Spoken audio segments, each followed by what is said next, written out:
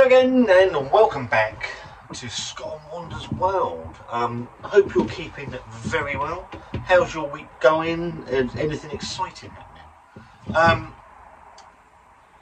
been over to Sainsbury's. My good friend Dean alerted me to the fact that there are some new beers into Sainsbury's. Don't go to Sainsbury's. The one that we've got is just on the outskirts of Portsmouth. Um, oh, just a lazy bastard. Don't go go there very often. They've got some new stuff. Um, got that new BrewDog one. There's a Vocation Stout. Uh, there's a Lervig, a Pale Ale, and there's other bits and pieces. So get yourself off to Sainsbury's if you've got a little bit of spare cash in your in your um, in your pocket, and you like trying new beers. Then you can pop over and have a uh, have a word with them. Going to go and have a word with them. They want to talk to you. I think you're a bit mad, but yeah, um, go and have a look, see what they've got. Ollie picked this beer up because of the two breweries that are actually involved in the beer. So it's made, I'm assuming, at Salt up in Yorkshire, but it's in collaboration with Wild Beer in Bristol, who I've got a lot of time for both of these breweries. Both make fantastic beers, and this is we challenge you to a hop off. And it's their Mountain IPA coming in at 7.2%. The standard, although I know um, I was watching Paul's beer reviews the other day, I'm sure you won't mind me mentioning him they've just changed their brew, their um their packaging, so they're bringing out the honeycomb effect a little bit more, so it just stands out a bit more boldly. Which actually, the can that I saw that you reviewed, it's their new one.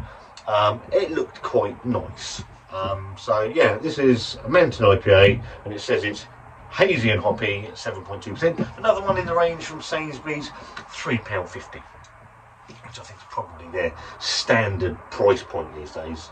Uh, like the can art, pretty standard, I say, from the old sort of sort of stuff. I said, I know um, Paul's mentioned that they've just changed it, so um, if you haven't seen Paul's review, go and, go and give him some love. Uh, and it says on the side, and I quote, uh, a collaboration with our good friends, the Wild Beer Company.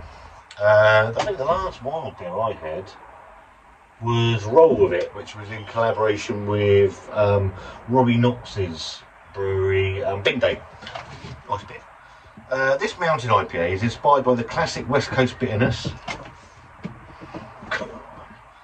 and East Coast juiciness. So, people that don't know what a, a, mountain IPA is, obviously, West Coast and East Coast come from the the coasts of the United States of America. Um, so, West Coast comes from over on the West Coast, and East Coast, funnily enough, comes from the East Coast. And this sort of molds both coasts together. No coast IPAs, mountain IPAs, so you get the bitterness from the west coast, the juiciness from the, the east coast. History lesson over. Um, of some of our favourite American beer styles, showcasing Idaho 7 and Strata hops, leading to notes of juicy stone fruit and pine, followed by a classic bitter finish. Fucking better, I've got a salt glass. I'm no heathen.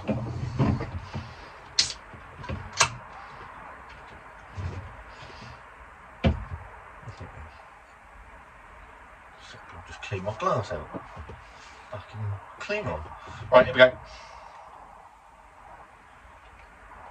So I'm expecting it to look like um, a New England IPA, but hopefully with the um, bitterness of a West Coast IPA. Because if it isn't, I'm going to lose my shit. Bam.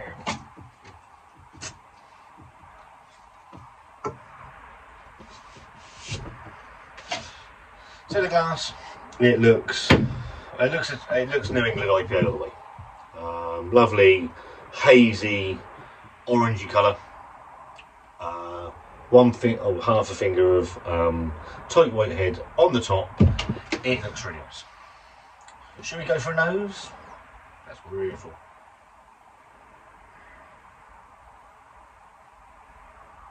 Yeah, so you're getting the stone fruits, you're getting um, some peach, some mango, passion fruit.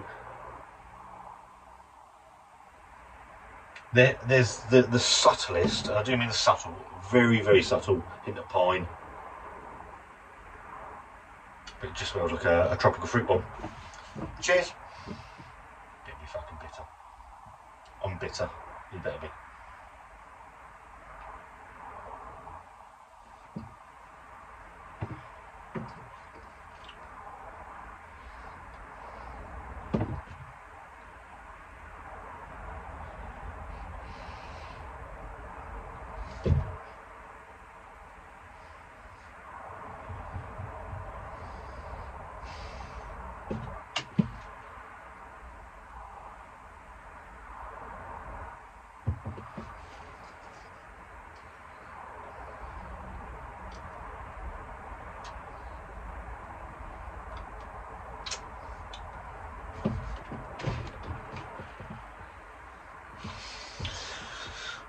Positives. Um, nice creamy body. I'm assuming there's smokes in there. Uh, water, malted barley, oats, wheat, hops, yeast.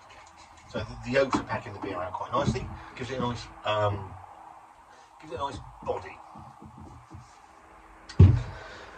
It's fruity. So you're getting the flavours from those hops. So the, the, the Idaho and the Strata give it that, that nice stone fruit flavour. So you get the peach, um, mango, you're getting some, uh, a bit of a burp. And and there is a little bit of, um, sorry, some passion fruit as well. Um, and there is the slightest hint of the pine right, and it almost dies away. Those flavours die away until that actually kicks in right at the end.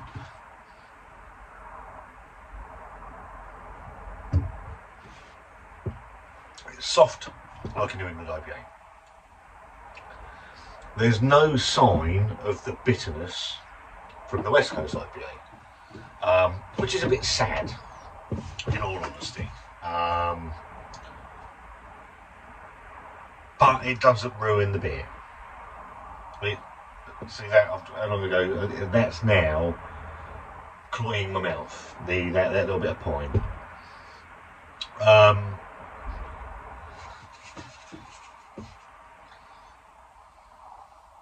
followed by a classic bitter finish. For me, and it's just my personal uh, preference, that bitterness at the end isn't enough. I wanted it more. Um, so you got all of the, the New England style up front. Soft, pillowy mouthfeel, um, nice, juicy flavours from the hops and the yeast, um, and the malts. And then you, then I want that that bitterness to kick in, and the pine to kick in at the end, as a West Coast would do. It doesn't do that. The pine kicks in a little bit, but not enough for me, and that the, that bitterness doesn't come really at all, um, which is a bit of a disappointment. Um, 7.2% ABV. There is a hint of that. There is a hint of that 7.2%. Um, it's quite warm in here, which I quite like. I'm not gonna I'm not to shit on a beer just because it, it can't hide its fucking ABV, alright? Um, I quite like that. Um, would I buy it again? I think there are better beers at a cheaper price point than that beer. Um, in all honesty, I've got to be honest, I've got, I've got to say it as a, as a feel. I can, I can buy a better beer for three, love and hate. I know it's a different style, but a three pound, I'd buy that over there. I think that's, I think that's, I have to be fair to myself and you guys. Um, we challenge you to a hop off. Thumbs up, thumbs down, thumbs in the middle. in the middle. It's not terrible. It's not a terrible beer. Uh, by any stretch of the imagination.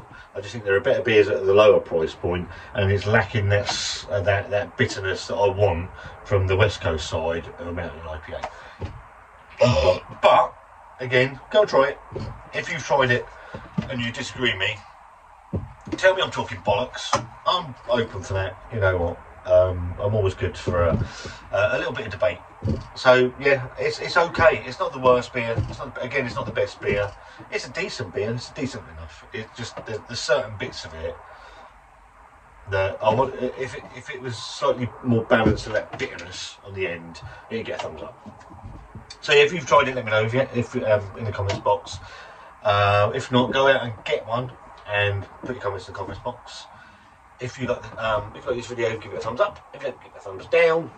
do what you want to do. It's entirely up to you. Um, there's a subscribe button as well if you'd like to help the channel out, because it does help the channel with the subscriptions. It doesn't cost anything. It's free. It's free for you. It's free for me.